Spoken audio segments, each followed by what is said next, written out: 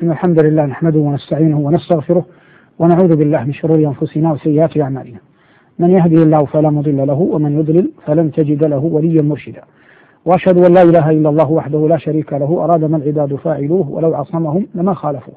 ولو شاء أن يطيعوه جميعا لأطاعوه وأشهد أن سيدنا ونبينا محمدا عبده ورسوله صلى الله عليه وعلى آله وأصحابه وعلى سائر من اقتفى أثره واتبع منهجه بإحسان إلى يوم الدين. أما بعد فما زلنا وإياكم نتفيأ ظلال القرآن في سورة البقرة التي أخبرنا قبل مرارا أنها فسطاط القرآن. وقد انتهينا إلى قول الله تبارك وتعالى ثم قست قلوبكم من بعد ذلك فهي كالحجارة أو أشد قسوة.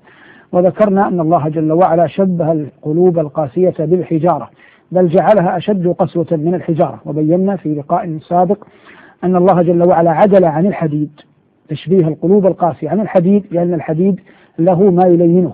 قال الله جل وعلا عن نبيه داود وألمنا له الحديد والحديد يلان بالنار ولا يعرف أن الحجارة تلان بشيء آخر.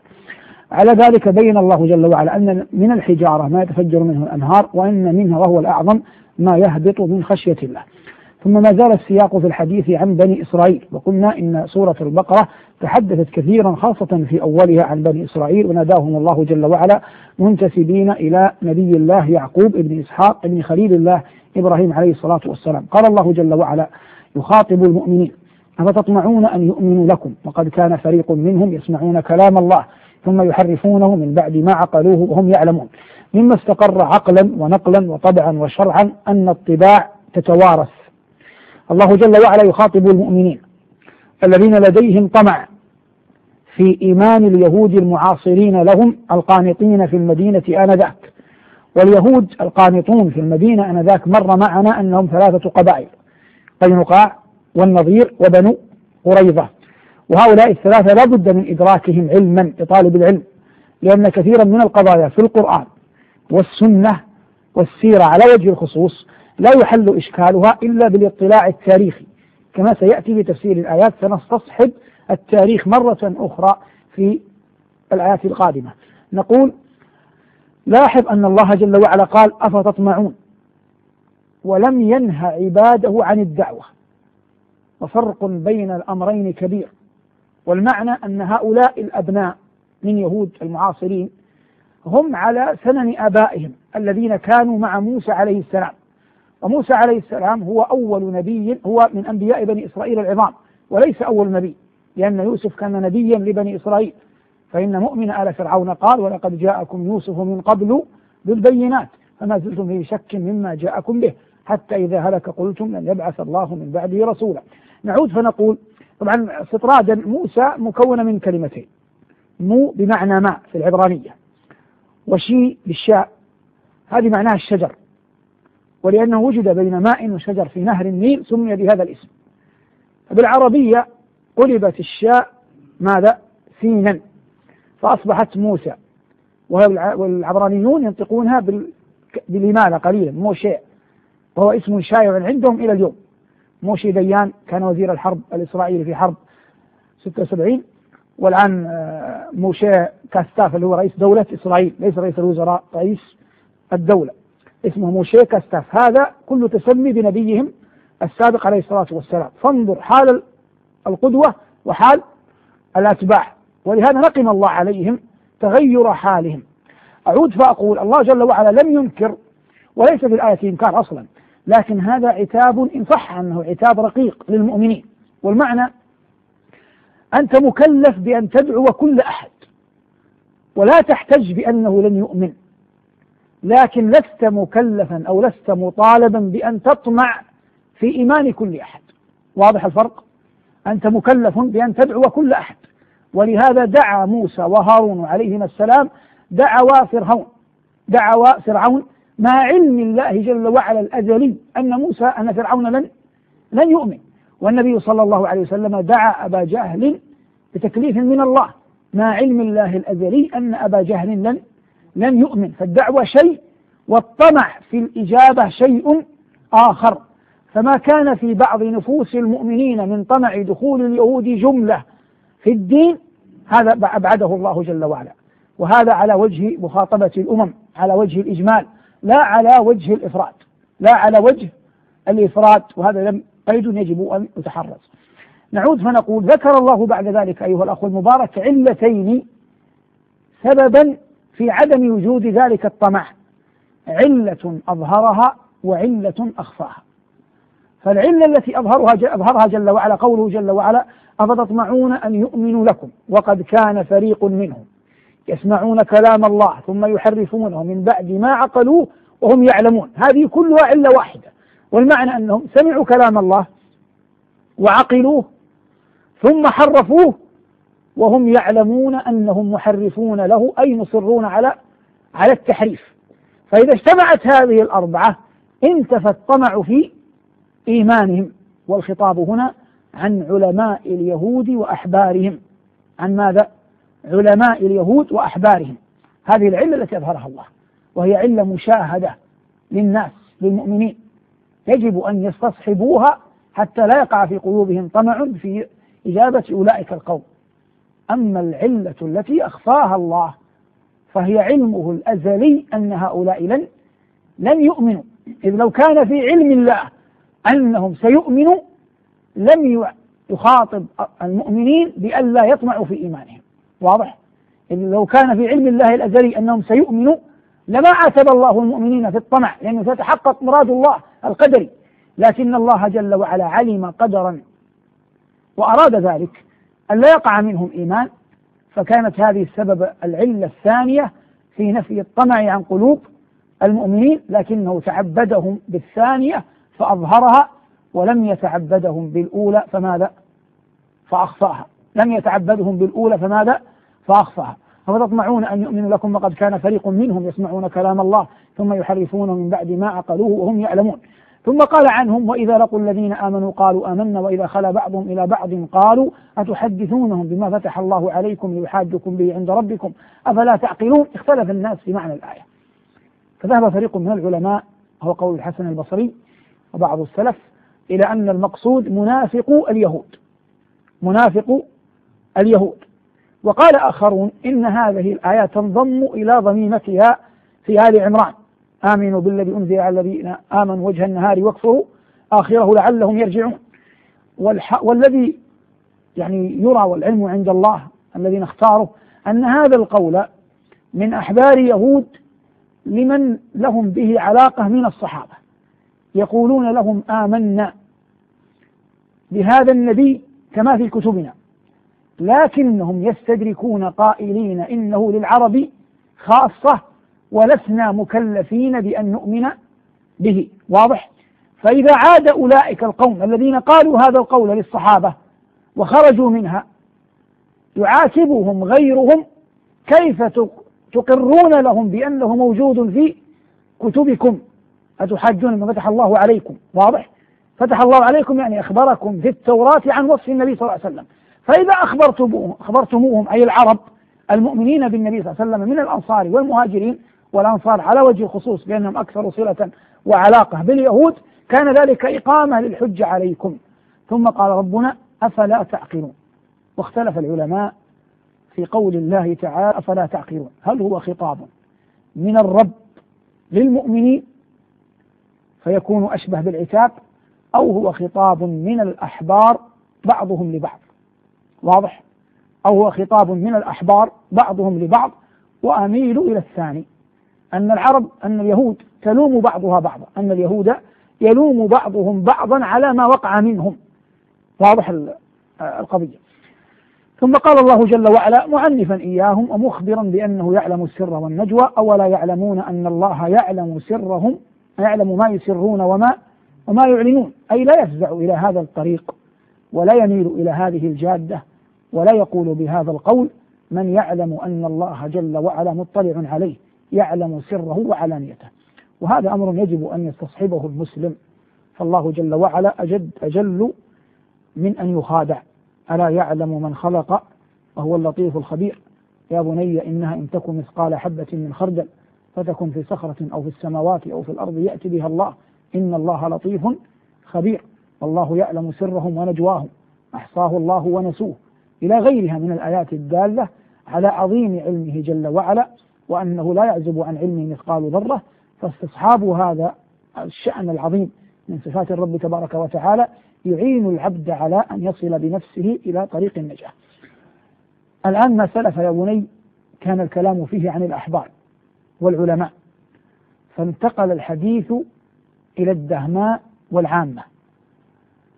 والمجمل ما أراده الله أن يقول للمؤمنين أمة أي اليهود أمة هذا حال أحبارهم وعلمائهم فكيف يكون حال عامتهم ودهمائهم؟ واضح؟ أراد الله أن يقول للمؤمنين أمة أي اليهود هذا حال أحبارهم وعلمائهم فكيف يكون حال دهمائهم وعلماء وعامتهم؟ قال الله ومنهم أي غير العلماء ومنهم أميون لا يعلمون الكتاب إلا أمانية وإن هم إلا يظنون. أميون متفقون على أنهم لا يجدون القراءة ولا ولا الكتابة عامة. ولهذا قال الله منهم ليسوا كلهم لأن اليهود يقرؤون ويكتبون. لكن من يقرأ ويكتب منهم هذا معدود في في العلماء والأحبار. والحديث هنا عن العامة والدهماء. ومنهم أميون لا يعلمون الكتاب إلا أمانية.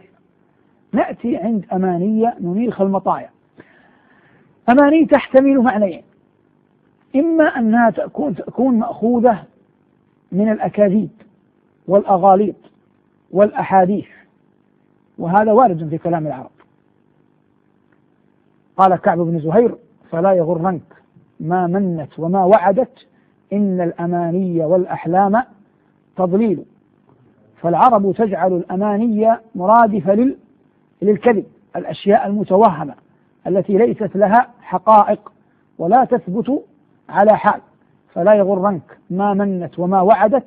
إن الأماني والأحلام تضليل والبيت من قصيدة لكعب بن زهير مطلعها بانت سعاد فقلب اليوم متبول وقد مرت معنا إلا أنني أذكر أن كلمة بانت هنا بمعنى بعدت ليست بمعنى ظهرت وأكثر من يردد البيت ربما يغلب على ظنه وعلمه أن المقصود ببانت بمعنى ظهرت ولو ظهرت لما قال ما قال في وصف قلبه لكن البون والبعد ونأي الديار وبعدها عن نظره هو الذي أورثه قلبا مكلولا وهما وحزنا.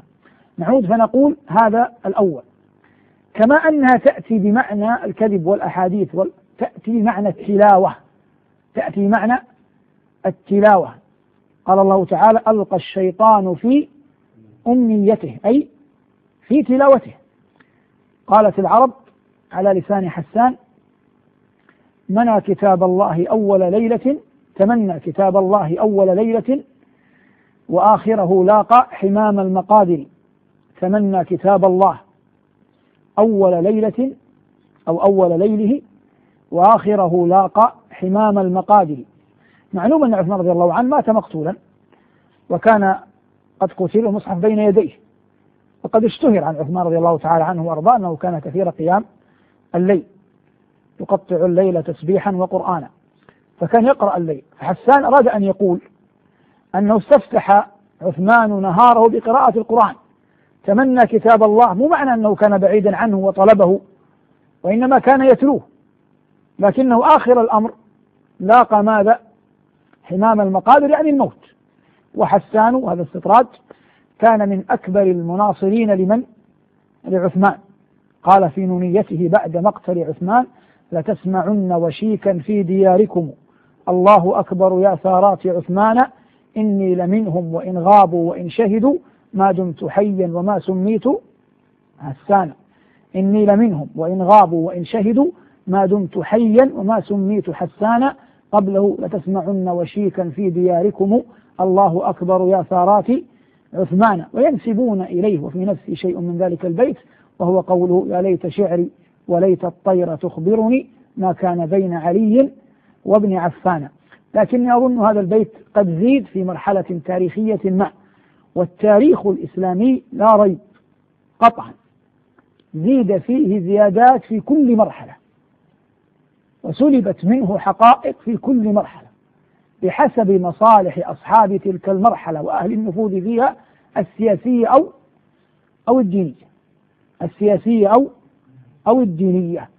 ولهذا أحيانا يصل بالإنسان إلى أن يكتم لأنه لو أظهر لأبطل سلطان أقوام. وإبطال سلطان أقوام يجعلهم يسلطون يتسلطون عليه. ولهذا قال أبو هريرة رضي الله تعالى عنه عن بعض علمه لو أظهره لقتل. وهو أراد بذلك بعض ما كان يسلط عليه بعض ولاة أولئك العصر. فيخسر الناس علمه بالجملة. وهذا من فقه أبي هريرة رضي الله تعالى عنه وأرضاه لا كما فهمه المشغبون على أهل الحديث فجعلوا هذا الكلمة مثلبة في حق أبي في حق أبي هريرة.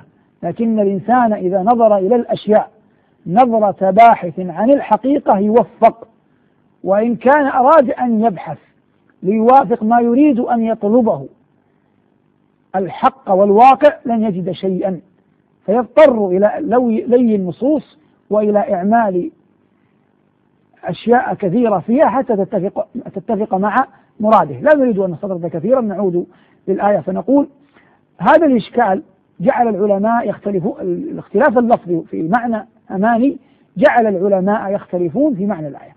قال الله تعالى ومنهم أميون لا يعلمون الكتاب إلا أمانية وإن هم إلا يظنون. والمعنى أن من هؤلاء اليهود طائفة لا تفقه شيئا فهي إذا تلت التوراة أو قرئ عليها الكتاب لا تفهمه إلا كما تفهم الأقاصيص والأحاديث والأغاليط. لا تقوم منها على بينة. وقد قلنا إن هذا حال الدهماء وقد مر معنا حال العلماء.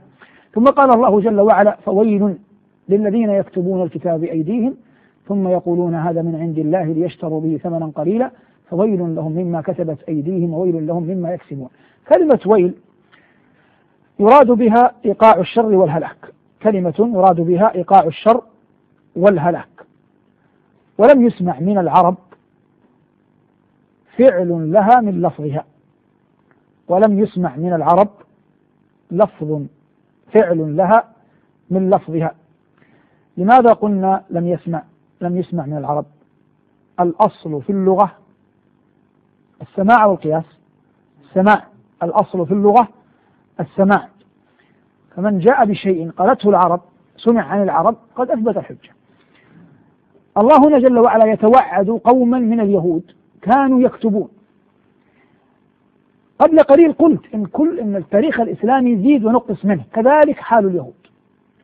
في كل مرحلة زمنية الأحبار الذين كلفوا بحفظ التوراة يزيدون فيها ويضيفون وينقصون بحسب الحال التي هم فيها. فمثلا عندما لم يزعم العرب أن نبيا بعث منها بالعقل لم يلجأ اليهود إلى محو صفات النبي صلى الله عليه وسلم لأن لا حاجة تقتضي محوه. واضح؟ فلما ظهر النبي صلى الله عليه وسلم في العرب ولم يظهر فيهم اضطروا إلى أن يغيروا ويكتبوا كتابا آخر يضيفوه في التوراة يبدل فيه الوصف الإلهي لنبينا صلى الله عليه وسلم حتى لا يغتر الأتباع به. فيقحمون أنفسهم بالتوراة كل ذلك يريدون أن يبقوا على سلطتهم الدينية والتشريعية والتنفيذية فيتحكموا في أموال الناس وهذا هو معنى الثمن القليل الذي قاله الله جل وعلا عنه عنهم ليشتروا به ثمنا قليلا وقد حررناه حررنا ذلك الأمر في لقاء سابق. فالله جل وعلا هنا يقول فويل الذين يكتبون الكتاب بأيديهم ثم يقولون هذا من عند الله. ليشتروا به ثمنا قليلا فويل لهم مما كتبت أيديهم وويل لهم مما يكسبون. فارتكبوا ثلاثة أمور حرفوا ما سبق وأضافوا من عندهم واشتروا بما أضافوه ثمنا قليلا بعد أن زعموا أنه من عند من عند الله جل وعلا وهذا من أعظم الفرية على الله تبارك وتعالى. على هذا من تأمل هذا لا يتعجب من صنيع اليهود اليوم لأنه إذا كان هذا حال آبائهم فحري بهم أن يكون هذا حال أبنائهم وأتباعهم وذراريهم قال الله جل وعلا بعد ذلك عنهم وقالوا لن تمسنا النار إلا أياما معدودة. اختلف في الأيام المعدودة ماذا أراد اليهود بها؟ مع أن الآية واضحة في أن اليهود تعترف بوجود الجنة والنار وكذلك النصارى. قال الله جل وعلا عنهما وقالوا لن يدخل الجنة إلا من كان هودا أو نصارى. تلك أمانيهم. وقال الله جل وعلا عنهم وقالوا وقالت اليهود ليست النصارى على شيء وقالت النصارى ليست اليهود على على شيء. الذي يعنينا أن الله جل وعلا ذكر عنهم أنهم قالوا أن النار لن تمسنا إلا أياما معدودة. أشهر أقوال أهل العلم عندنا في هذه القضية أنهم قصدوا بها الأيام الأربعين التي عبدوا فيها العجل. قصدوا بها أنهم يعذبون لعبادتهم العجل. يعذبون في النار أياما معدودة هن أربعون لعبادتهم العجل. وقال بعض العلماء أقوالا أخرى لكني لا أعلم مستندا لها لا من النظر ولا من الأثر فضربنا الذكر عنها صفحة. نعود فنقول وقالوا إن تمسنا النار إلا أياما معدودة. قل اتخذتم عند الله عهدا فلن يخلف الله عهدا أم تقولون على الله ما لا تعلمون. هذا ترتيب منطقي. يعني زعمكم هذا مبني على أحد أمرين. إما أن يكون لديكم عهد من الله وإما أن يكون قول, قول تخلقتموه افتريتموه على الله. فإذا ثبت أنه ليس لكم عند الله عهد فلم يبقى إلا أن يكون قولكم فرية واضح؟ قل اتخذتم عند الله عهدا وليس لهم عند الله عهد. فلن يخلف الله عهده كما تزعمون. أم تقولون على الله ما لا تعلمون؟ قد يقول بعض العلماء إن أم هنا للإضراب الانتقالي يعني بل تقولون على الله ما لا تعلمون لكن الأفضل جعلها على الترتيب المنطقي الذي بيناه آنفا. قال الله جل وعلا مجيبا لهم بلى من كسب سيئة وأحاطت به خطيئته فأولئك أصحاب النار هم فيها خالدون. من هذه أيها المبارك من ألفاظ العموم؟ من ألفاظ العموم. فالقرآن أعظم من أن ينزل لقضية واحدة. والله جل وعلا ليس بينه وبين أحد من خلقه نسب. فهاتان الآيتان فاصلتان. قال الله بلى من كسب سيئة وقال بعد والذين آمنوا وعملوا الصالحات. والمعنى ليس بين الله وبين أحد من خلقه نسب. كل أحد في كل مصر أو في كل, عصر إذا اكتسب سيئة وأحاطت به خطيئته أي مات على الكفر فهذا مخلد في النار كائنا من كان. ولو كان والد نبي كإبراهيم أو ابن نبي ككنعان ابن نوح أو عم نبي كأبي لهب وأبي طالب. واضح؟ ومن كان مؤمنا عن آمن وعمل صالحا ومات على الإيمان وافى الله بالإيمان كما حررنا بالأمس فهذا كتب الله جل وعلا له الجنة. لأن الله اشترط قال أوفوا بعهدي أوفي أوفوا بعهدي أوفي بعهدكم. وبينا أوفوا بعهدي يعني امتثال أوامري. أوفي بعهدكم أي بالقبول والثواب. فهذا مآله الجنة أيا كانت كان والده وأيا كانت وأيا كانت أمه. فعمر الخطاب رضي الله تعالى عنه أبوه كافر. ولا ندخل في عمر لأن عمر أباه لم يدرك النبوة قد يكون فيها قول العلماء لكن نأخذ مثلا عمرو بن العاص. فالعاص بن وائل السهمي من أعظم الكفار وابنه عمرو صحابي وخالد سيف الله وأبوه الوليد بن المغيرة نزل ما نزل فيه من القرآن. فلا يوجد بين الله وبين خلقه تلك المعايير الموجودة في الدنيا. ليس بين الله وبين أحد من خلقه إلا الإيمان والعمل الصالح وهذا ينبغي أن يستحضره المؤمن في كل آية يتلوها في كتاب الله. عاد الحديث الآن إلى الكلام عن بني إسرائيل. عن بني إسرائيل الحاليين والسابقين على شكل ربط. قال الله وإذ أخذنا ميثاق بني إسرائيل. لا تعبدون إلا الله. وهذا مر معنا كثيرا أن الدعوة إلى عبادة الله وحده هي أس دعوة الرسل وكل الرسل جميعا دعوا إليها. وبالوالدين إحسانا. وهذه أول آية في القرآن ذكر الله جل وعلا فيها حسب ترتيب المصحف. بر الوالدين وقد مر معنا كثيرا. وذي القربى واليتامى والمساكين وقولوا للناس حسنا. القرآن يربي في الناس فقه الأولويات. فمن لم يعطي حق الله لن يعطي حق الخلق. ومن منع الوالدين لن يعطي القريب.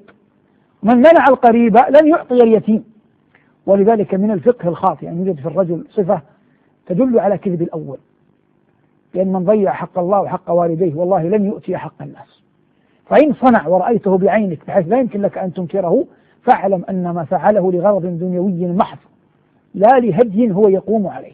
فرتب ربنا حقه ثم حق الوالدين ثم حق ذوي القربى والعرب كانت تأنف من ذلك الرجل الذي يكون شره على قرابته. قال طرفه وظلم ذوي القربى أشد مضاضة على النفس من وقع الحسام المهند. والله لما خاطب نبيه وأنذر عشيرتك الأقربين. ونوح عليه الصلاة والسلام لما دعا قال رب اغفر لي ولوالدي ولمن دخل بيتي مؤمنا وللمؤمنين والمؤمنات. ثم قال الله تعالى واليتامى واليتامى جمع يتيم وقد مر معنا الحديث عنه والمساكين جمع مسكين من أذله الله بالفقر وأعجزه فأصبح ساكنا. وقولوا للناس حسنا الناس عامة المؤمنين والكفار. وهذا من تأديب الله للأمم السابقة واللاحقة. أن الإنسان يكون قوله هين لين يقبل منه. قد قالت العرب أبني إن البر شيء هين وجه طليق ولسان لين. وأعجز الناس من عجز على أن يحوي الناس بلسانه. لا خيل عندك تهديها ولا مال فليسعد النطق إن لم تسعد الحال.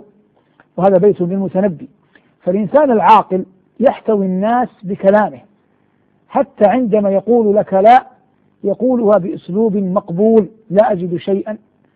النبي صلى الله عليه وسلم عندما أتاه ضعفاء المهاجرين والأنصار في غزوة جيش ذي العسرة قلت لا أجد ما أحملكم عليه.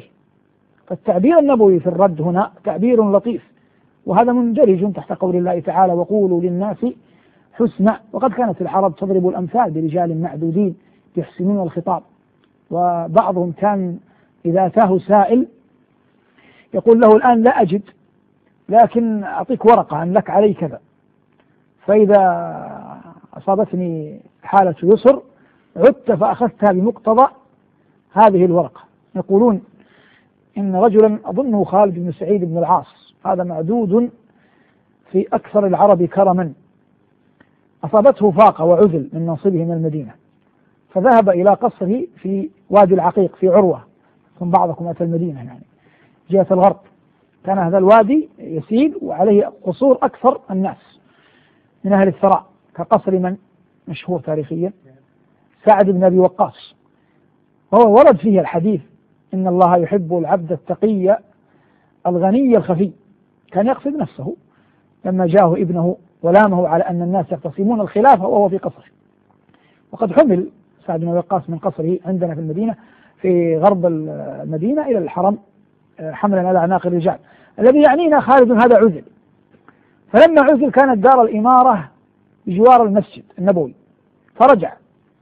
ولك أن تتصور أميرا يعزل من سيرجع معه؟ ولم يرجع معه أحد. فلما رجع الناس كانوا يطفون حوله لإمرته. والآن لا مال ولا امرأة لكن في بعض الناس لا يفقدون شيء يعني يعود إليهم لجاههم. لا يقدر السلاطين على مناكفتهم بالكلية. فهو راجع سار معه شاب وأظنه شاب فطن حتى وصل معه إلى باب القصر. فلما وصل معه إلى باب القصر قال يا ابن أخي سلني حاجتك فإنك منذ اليوم ترافقني. قال والله لا أريد شيئا. قال ولماذا سرت معي؟ قال رأيتك مقصوص الجناح فأحببت أن أعضدك. رأيتك مقصوص الجناح فأحببت أن أعضدك. فوقعت هذه الكلمة في قلب خالد موقع عظيم. فقال له أخرج ورقة. فأخرج ورقة فكتب له أن له عليه عشرون ألف دينار دينا. ونادى غلاما له ليختمها ليشهد. ثم ختمها وأعطاها الغلام. فذهب الغلام. فمات خالد بعدها بقليل. وكان رجلا من وجهاء بني أمية في عهد معاوية. فأشار على ابنه قبل أن يموت أن يذهب إلى معاوية فإنه سيتكفل بديني. وأخبره أنت بنبأ وفاتي فلما مات خالد ذهب ابنه إلى الشام. وأخبره بموت معاوية وأخبره بموت أبيه. ومعاوية وخالد قرابة من بني أمية. فلما أخبره قال له ما أوصاك؟ قال أوصاني أن أتيك وأخبرك. فقال خيرا فعل أو حسنا دلك عليه. فأعطاه آلاف الدنانير ليقضي بها دين أبيه خالد. فعاد الغلام الشاب ابن خالد إلى المدينة. وأعلن في الناس بطريقة الإعلان آنذاك نادي منادي أن يأتي يأخذون ديونهم. فجاء التجار الذين الأصل في بينهم معاملات. ثم جاء هذا الشاب ومعه هذه الورقة فيها عشرون ألف دينار مبلغ آنذاك كبير جدا. فلما أخذه الإبن قال ما أظن أبي يكتب هذا أنت لست بتاجر إنما أنت صعلوك من صعاليك المدينة. كيف استحققت أن تأخذ على أبي هذا المبلغ. فجاء الغلام الشاهد. قال أنا أشهد أنه صحب خالدا إلى قصره فسأله خالد لما صحبتني؟ قال رأيتك مقصوص الجناح فأحببت أن أعبدك. فكتب له هذه الورقة. فأعطاه العشرين ألف دينار. موضع الشاهد. هذه الآية المجملة هنا وهذه القصة التي أخبرناك بها نص الله عليها في آية مكية. من البقرة مدنية والقصة متأخرة. هذه قصة في عهد بني أمية. قال الله جل وعلا وإما تعرضن عنهم ابتغاء رحمة من ربك ترجوها فقل لهم أي المساكين قولا ميسورا. الآن لاحظ أول الآية ابتغاء رحمة من ربك ترجوها شيء تؤمله من الله. ولا يوجد مؤمن عاقل يعرف الله إلا وهو يؤمل شيئا من من الله. هذا المقطوع الأمل من الله ما يعرف الله. الذي يعرف الله على حال استعداد أن تأتيه نعمة الله. واضح؟ وإما تعرضن عنهم أي المساكين ابتغاء رحمة من ربك ترجوها فقل لهم قولا ميسورا أي أجلهم إلى حين. قل لهم ائتوني بعد غد ائتوني آخر الشهر لعلك تأتيني آخر السنة هكذا. لعلك تأتيني في رمضان. أشبه ما يكون بهذه الكلمات التي تندرج في قول الله وقولوا للناس حسنا. قال الله جل وعلا وأقيموا الصلاة وآتوا الزكاة ثم توليتم إلا قليلا منكم وأنتم معرضون. وهذه ظاهرة مر معنا كثيرا مثلها. قال الله تعالى بعد وإذ أخذنا ميثاقكم لا تسفكون دماءكم ولا تخرجون أنفسكم من دياركم. ثم أقررتم وأنتم تشهدون. ثم أنتم هؤلاء. هؤلاء تبين لك أن المخاطب اليهود المعاصرون أن المخاطب اليهود المعاصرون للنبي صلى الله عليه وسلم. ثم أنتم هؤلاء تقتلون أنفسكم وتخرجون فريقا منكم من ديارهم تظاهرون عليهم بالإثم والعدوان وأن يأتوكم مصارى تفادوهم وهو محرم عليكم إخراج أفا تؤمنون ببعض الكتاب وتكفرون ببعض فما جزاء من يفعل ذلك منكم إلا خزي في الحياة الدنيا ويوم القيامة يردون إلى أشد العذاب يوم الله بغافل عما تعملون. الآن هذه الآيتان اضطررت لأن أقرأهما سويا لأنهما لا تفسر إلا سويا. والآن قلت سنستجد التاريخ. المدينة الطوائف الثلاثة اليهود اللي كان الذين كانوا موجودين آنذاك كانت الحرب قبل الإسلام مشتعلة ما بين الأوس والخزرج. فكانت اليهود تلزم باب الحياد وتنبه جيدا لما سيأتي. إذا لن تفسر الآية إلا إذا عرفت التاريخ. كانت قبائل اليهود الثلاثة تلتزم ماذا؟ حاول أن تشاركني. تلتزم تلتزم الحياد. والحرب بين الأوس والخزرج. كانت الغلبة للخزرج كثيرا. الآن ضع نفسك مكان الأوس أنت مغلوب. تضطر تشرك الذين في في الحياة. تجرهم إلى المعركة جر. فذهبت الأوس تنتصر تستنصر لليهود. فرفضت اليهود. طلبوا الحياد. لما علم الخزرج أن الأوس ستستنصر باليهود ذهبوا إلى إلى اليهود. ذهبوا إلى قريظة والنظير قالوا نخشى أن تكونوا مع أبناء عمتنا. فأعطوهم المواثيق أنهم لن يكونوا وأنهم سيبقون على الحياد. ما اطمأنت الخزرج طلبوا رهائن فأعطت اليهود للخزرج أربعين غلاما حتى يضمنوا أنهم لن يشتركوا في الحرب. وفعلا لم تشترك اليهود في الحرب وبقي الغلا الأربعون غلاما مع من؟ مع الخزرج. الله يقول كلا إن الإنسان ليطغى أن رآه استغنى. لما شعر الخزرج أنهم أربعون من اليهود تحت أيديهم وغلبوا إخوانهم من الأوس أرادوا أن يتحولوا إلى مواطن سكن بني قريظة وبني النظير كانت أخصب أرضا وأكثر نخلا فجاءوا للخزرج جاءوا لليهود قالوا زحوا يعني زيوا عنا قليلا نريد أن نسكن دياركم. فهم على يهود تشاوروا. رجعوا إلى رجل ذو عقل. الخزرج هددوا قالوا إن لم تقبلوا قتلنا من؟ قتلنا الأربعين. فقال هذا الرجل اسمه كعب قال يا بني قومي أبقوا على دياركم ونخلكم وأموالكم ولا تبرحوها. أما الغلمان فلا يلبث الرجل منكم أن يأتي أهله فيولد له غلام مثله. يعني تنحل لكن في أشياء ما تحل. أحد من العرب كان مسافر تارك وراه زوجة وولد وأبو وأخو جيران. جاء كيف حال الأب قالوا مات. قال ملكت أمري. أول أبوي فيه استحي منه قال أين الزوجة؟ قالوا ماتت. قال تجدد فراشي أين ابني؟ قالوا مات. قال آتي أهلي الجدد ويأتيني الله بغيره. قالوا قال أين أخي؟ قالوا مات. قال قسم ظهري. ما الدور أخو. واضح؟ هذه بالعامية ما الدور أخو لكن جاء في السياق. الذي يعنينا الآن لما قيل لهم قال هذا العاقل قال الغلمان يؤتى بغيرهم. تلد الأزواج لكن الأرض والديار والنخل ما, ما الذي يعوضها؟ فلما دخلوا اضطرت الخزرج بعد أن قتلت الأربعين أن تدخل في حلف بني قينقاع فاضطرت الخ... بنو النظير وقريظة أن يدخلوا مع من؟ مع الأوس فصارت مقتلة بمقتضى هذان الحل... بمقتضى هذين الحلفين أصبح اليهود يقاتل بعضهم بعضا لأن بني النظير وبني قريظة في كفة وقينقاع في ماذا؟ في كفة أخرى خلاص؟ الحرب أي حرب لابد أن تنتهي ترتفع الله عبر عنها بماذا؟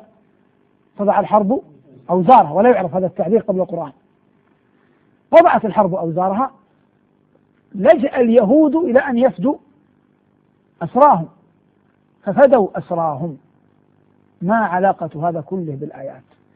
في التوراة أوجب الله عليهم فدية الأسرى وحرم الله عليهم أن يقتل بعضهم بعضا. أن يهود يقاتل يهودي محرم. فهم بصنيعهم هذا قاتلوا بعضهم ففعلوا ما نهوا عنه وقاموا بما وجب عليهم وهو فداء الأسرى واضح؟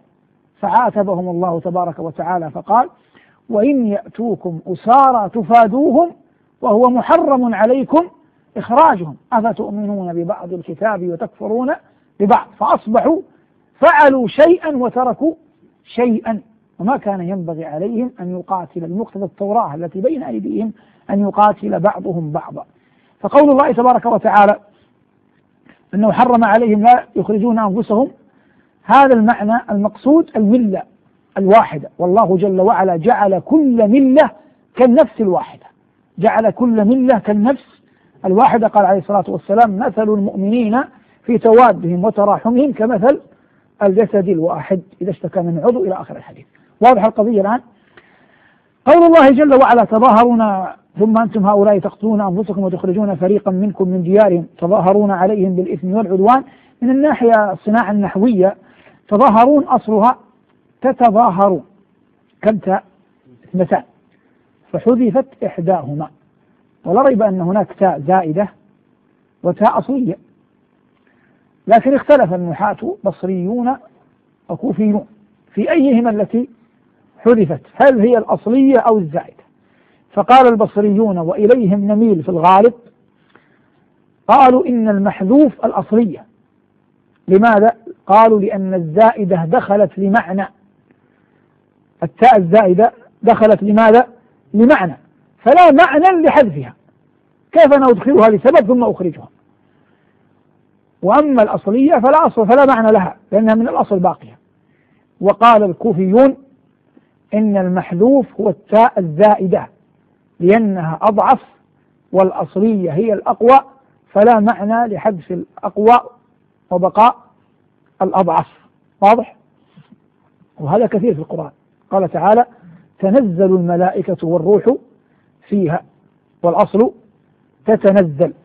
هذا تعريج نحوي على قول الله تعالى تظاهرون عليهم بالإثم والعدوان وإن يأتوكم مسارى تفادوهم وهو محرم عليكم إخراجهم. أفتؤمنون ببعض الكتاب وتكفرون ببعض؟ ثم بين جل وعلا قال فما جزاء من يفعل ذلك منكم إلا خزي في الحياة الدنيا ويوم القيامة يردون إلى أشد العذاب وما الله بغافل عما تعملون. ما جزاء منكم من يفعل ذلك منكم؟ اختلف في ما هذه. هل هي استفهامية أو نافية؟ والحق أنها تحتمل الاثنين ولا أستطيع أن أجزم بإحداهما. تحتمل أن تكون نافية وتحتمل أن تكون استفهامية. فما جزاء من يفعل ذلك منكم إلا خزي في الحياة الدنيا؟ هذه فيها قرينة ودلالة وشاهد على أن من الذنوب من يعجل الله جل وعلا به العقوبة أين؟ في الدنيا. من الذنوب ما يعجل الله جل وعلا به العقوبة في الدنيا. لكن في نقطة قد توافق مع أحداث العصر. وإن كنت لا أدري الحلقة تذاع مع أحداث العصر أو لا. هو في قضية أساسية. ما كان سببا في الذنب لا يمكن أن يكون سببا في الرفع. واضح؟ ما كان ذنبا سببا في الابتلاء الذنب الذي هو سبب في الابتلاء أو أحد أسباب الابتلاء لا يمكن أن يكون هو نفسه سبب في في الرفع. كلامنا معمم. لكن الإنسان لابد أن يفهمه فهما آه، جيدا. نأتي مثال آه، واضح. حتى تنجلي الصورة مثلا عندما تحصل حرب أو يحصل أذى للمسلمين في أي قطر. واضح؟ أي أذى لأي مسلمين في أي قطر في أي مكان في أي زمن. من من الذي يحصل من الذي يعني يشاهد يأتي مجموعة مثلا من أهل الفن. من دعاة الفجور العلني. فيقيمون مظاهرات أو يقولون سنفعل ونفعل. هذا بشرع الله لا يستقيم لأن وجود هذه الأعمال التي يتبناها أولئك الأقوام هي من أسباب تسلط العدو. فلا يمكن أن يرفع بسببهم هم. واضح؟ إنما هؤلاء ما الذي يمكن أن يقدموه؟ التوبة. الذي يمكن أن يقدموه التوبة. أنتم تخلصوا من ذنوبكم سيرفع الله عنا البلاء. لكن لا يعقل أن تكونون أنتم مقدمون في أن تكون أنتم مقدمين في قضية رفع البلاء عن الأمة محال. لأن يعني من هذه الأم أي أي عذاب أي ابتلاء تسلط عدو أو غيره أو جد ديار أو غيره هذا من الذنوب. وليست لا يلزم أن تكون محصورة في ذنب واحد. لكن ليس من المعقول أن يكون هم السبب في في نزول البلاء ويكونون هم أنفسهم سببا في في رفع إلا أن إلا أن يتوبوا. واضح؟ وهذه نقطة يجب أن يتنبأ لها الإنسان ولا يغتر بكثرة النفير الظاهر في الفضائيات والقنوات. علمنا الله وإياكم ما ينفعنا ونفعنا وإياكم بما علمنا. هذا ما تيسر إراده وأعان العلي الكبير على قوله في هذا اللقاء المبارك والتأملات حول قول الله تبارك وتعالى وتطمعون أن يؤمنوا لكم. إلى قوله سبحانه أولئك الذين اشتروا الحياة الدنيا بالآخرة فلا يخفف عنهم العذاب ولا هم ينصرون. فلا يخفف عنهم العذاب الأفضل حملها على عذاب الدنيا لأن عذاب الآخرة مستقيم ولا هم ينصرون. هذه الحمل يجب حملها على عذاب الآخرة لأن النصرة قد تقع في الدنيا فقد يسلط أهل الكفر حينا على أهل الإيمان. أكرر الخاتمة من عودا على بدء هذا ما تيسر إراده وعان الله على قوله وصلى الله على محمد وعلى آله والحمد لله رب